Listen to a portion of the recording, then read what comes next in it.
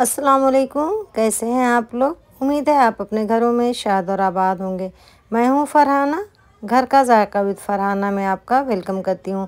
तो आज हम आप लोग के साथ शेयर कर रहे हैं परवर की सादी सब्ज़ी। यूँ तो परवर की सब्ज़ी बहुत तरह की बनती है, चटनी वाली, मसाले वाली, सादी हर तरह की बनती है, लेकिन आज हमने बनाई इसे प्याज और परवर से। बहुत ज़्यादा टेस्टी लगती है। सादी सब्ज़ी एक बार मेरे तरीके से ज़रूर ट्राई करिएगा। और ये बहुत जल्दी झटपट 10 से 15 मिनट के अंदर बनकर तैयार भी हो जाती है।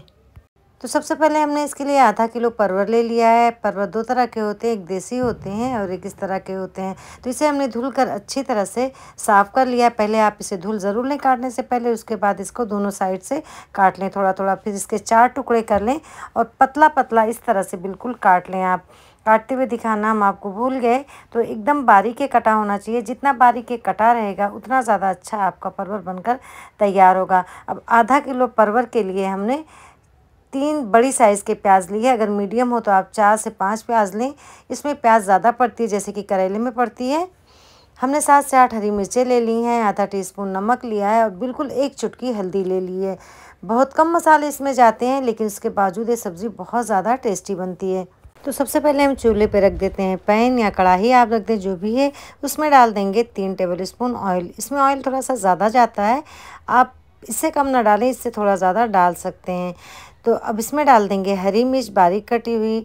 तो आप हरी मिर्च कम ज़्यादा कर सकते हैं। दो मिनट तक हरी मिर्च को फ्राई करेंगे, उसके बाद सब्ज़ी उठाकर डाल देंगे, यानी कि परवर और इसे तीन से चार मिनट तक फुल टू मीडियम फ्लेम पे ही इस तरह लगातार चलाते रहेंगे। इस चीज़ का ध्यान रखें कि परवर की सब्ज़ी को आप बिल्कुल छोड़ नहीं सकते, इसे लगातार चलाते रहना पड़ता है। अब इसमें हम डाल देंगे हल्दी तो हल्दी सिर्फ़ हमने एक चुटकी डाली है ताकि इसमें कलर अच्छा सा आ जाए, बाकी इसमें हल्दी डालने की कोई ज़रूरत नहीं होती है।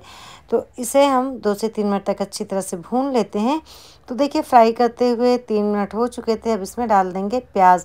प्याज भी बिल्कुल बारीक स्लाइस में कटी होनी चाहिए, मोटी नहीं कटी होनी चाहिए, बिल्कुल पतली होनी चाहिए। प्याज डालने के बाद भी हम इसे लगातार चलाते हुए भूनेंगे मीडियम फ्लेम पे। तो सब्ज़ी अगर आप छोड़ देंगे और नीचे से अगर लग गई तो पूरी सब्ज़ी का मज़ा आपका ख़राब हो जाएगा। इसलिए इस बात का ध्यान दें कि लगातार चलाएँ। अब लिट को कवर कर देंगे सिर्फ़ एक से दो मिनट के लिए ताकि भाप बने और उसमें ये गले। लेकिन बीच बीच में आप लिट को हटाकर चलाते ज़रूर रहा करें।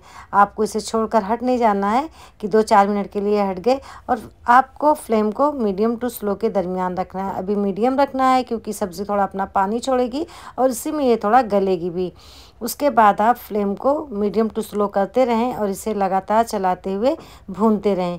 परवर की सब्ज़ी यूपी में लोग बहुत ज़्यादा शौक से खाते हैं और ये बहुत ज़्यादा टेस्टी लगती भी है। तो देखिए, सब्ज़ी हमारी 80 परसेंट तक कुक हो चुकी है। अब इस स्टेज पे हम शामिल कर देते हैं नमक। आधा टीस्पून आप कम ज़्यादा अपने टेस्ट के मुताबिक डाल सकते हैं। नमक शुरू में नहीं डाला जाता, वरना आपको सब्ज़ी बनाने में बहुत परेशानी होगी और प्याज नीचे चिपकने लगेगी। इसलिए जब एट्टी टू नाइन्टी तक आपकी सब्ज़ी कुक हो जाए तो ही आप इसमें नमक डालें और अब इसे तीन से चार मिनट तक हम और स्लो हीट पे भून लेंगे ताकि इसमें अच्छा सा कलर आ जाए और ये थोड़ी सी क्रिस्प हो जाए। ये क्रिस्प होने के बाद बहुत ज़्यादा टेस्टी लगती हैं। तो देखिए, सब्ज़ी हमारी तैयार है। अब हम फ्लेम को कर देते हैं ऑफ़ और इसे निकाल लेंगे एक सर्विंग बोल में। तो बहुत ज़्यादा टेस्टी बनती है। आप एक बार इसे ट्राई ज़रूर करिएगा मेरे तरीके से। रेसिपी पसंद आए तो लाइक, शेयर, सब्सक्राइब करना ना भूलिएगा। बेलाइकन को भी ज़रूर प्रेस कर दीजिएगा ताकि मेरी हर आने वाली वीडियो का नोटिफिकेशन आप तक पहले पहुँचे।